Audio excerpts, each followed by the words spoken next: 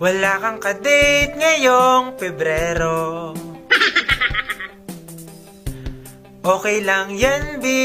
Marami tayo. Tulog na lang ang gawin. O kaya kumain sa 14 Okay lang yan kung single ka Sorry, wala ka nang magagawa. Tanggapin mong wala sa'yo.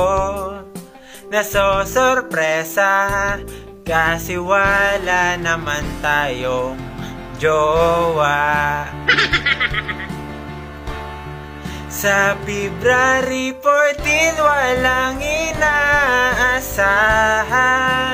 Dead ba lang tayo at walang kasama Kasi wala naman tayo nakasintahan. Swerte kung may magaya. Kung wala naman matutulog na lang